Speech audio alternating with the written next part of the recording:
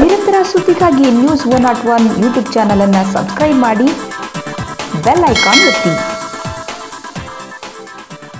ಪ್ರತಿ ವರ್ಷ ವಿಜೃಂಭಣೆಯಿಂದ ನಡೆಯುತ್ತಿದ್ದ ನಾಡಹಬ್ಬ ಕೊರೋನಾ ಕಾರಣದಿಂದ ಈ ಬಾರಿ ಚಾಮುಂಡಿ ಬೆಟ್ಟ ಮತ್ತು ಅರಮನೆ ಆವರಣಕ್ಕೆ ಸೀಮಿತವಾಗಿರೋದು ಬೇಸರದ ಸಂಗತಿಯ ಜೊತೆಗೆ ದಸರಾ ಕಾರ್ಯಕ್ರಮಗಳಿಗಾಗಿಯೇ ಕಾದು ಕುಳಿತಿದ್ದ ಕಲಾವಿದರ ಬದುಕನ್ನು ಕಿತ್ಕೊಂಡಿದೆ. ಇದರ ಮಧ್ಯೆ ರಾಜರ ಕಾಲದ ಸಂಚಾರಿ ಸಾಧನವಾಗಿದ್ದ ಪಾರಂಪರಿಕ ಟಾಂಗಾಗಳು ದಸರಾಗೆ ಬರೋ ಪ್ರವಾಸಿಗರನ್ನ ಆಕರ್ಷಿಸಲು ಸಿದ್ಧಗೊಳ್ಳುತ್ತಿವೆ. ಬಣ್ಣದ ಚಿತ್ತಾರಗಳಿಂದ ಕಂಗೊಳಿಸಲು ರೆಡಿಯಾಗಿರುವ ಟಾಂಗಾಗಳು ಸರಳ ದಸರಾ ಆದರೂ ಟಾಂಗಾವಾಲಗಳಲ್ಲಿ ಉತ್ಸಾಹ ಮೊದಲಿನಷ್ಟೇ ಇದೆ.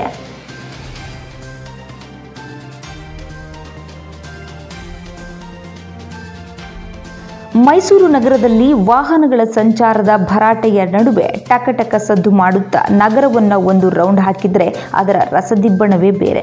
ಅದರಲ್ಲೂ ದಸರಾ ಸಂದರ್ಭ ಪ್ರವಾಸಿಗರು ಹೆಚ್ಚು ಬರೋದ್ರಿಂದ ಟಾಂಗಾವಾಲಗಳ ಬದುಕು ಹಸನಾಗಿರುತ್ತೆ. ಯಾಕಂದ್ರೆ ಪ್ರವಾಸಿಗರು ನೀಡುವ ಕಾಸಿನಿಂದಲೇ ಟಾಂಗಾ ಗಾಡಿಗಳ ಅಸ್ತಿತ್ವ ನಿಂತಿದೆ ಅಂದ್ರೆ ತಪ್ಪಾಗಲ್ಲ. ವರ್ಷದ ಇತರೆ ದಿನಗಳಲ್ಲಿ ನೆನಪಾಗದ ಟಾಂಗಾವಾಲಗಳು ದಸರಾ ಬರ್ತಿದ್ದಂತೆ ನೆನಪಾಗ್ತಾರೆ. ಅವರಿಗೆ ಸರ್ಕಾರದ ಕಡೆಯಿಂದ ಭರವಸೆಗಳು ಕೂಡ ದಸರಾ ಸಂದರ್ಭ ತಮ್ಮದೇ ಆದ ಪೋಷಾಕು ಧರಿಸಿ ಟಾಂಗಾ ಗಾಡಿ ಮುಂದೆ ನಿಲ್ಲುವ ಟಾಂಗಾವಾಲಗಳ ಬದುಕಿನ ಹಿಂದಿನ ಕರಾಳತೆ ನಮಗೆ ಕಾಣಿಸೋದಿಲ್ಲ ಯಾಕಂದ್ರೆ ದಸರಾ ಸಂದರ್ಭ ಪ್ರವಾಸಿಗರ ಸಂಖ್ಯೆಯೂ ಹೆಚ್ಚಾಗಿರೋದ್ರಿಂದ ಪ್ರವಾಸಿಗರನ್ನ ಕುಳ್ಳಿರಿಸಿ ಅಲಂಕೃತ ಅರಮನೆಗೊಂದು ಸುತ್ತು ಹೊಡೆಸಿದ್ರೆ ಒಂದಷ್ಟು ಕಾಸು ಸಿಗುತ್ತೆ. ದಸರಾ ಕಳೆಯುತ್ತಿದ್ದಂತೆ ಮತ್ತೆ ಅದೇ ಬವಣೆಯ ಬದುಕು ಮುಂದುವರಿಯುತ್ತೆ.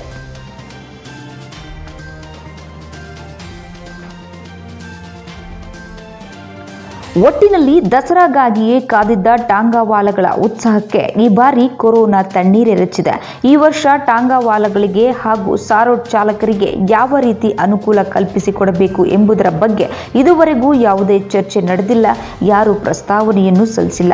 ಹೀಗಾಗಿ ಟಾಂಗಾವಾಲಗಳ ಸಂಕಷ್ಟಕ್ಕೆ ಸರ್ಕಾರ ಸ್ಪಂದಿಸುತ್ತಾ ಕಾದು ನೋಡಬೇಕಿದೆ.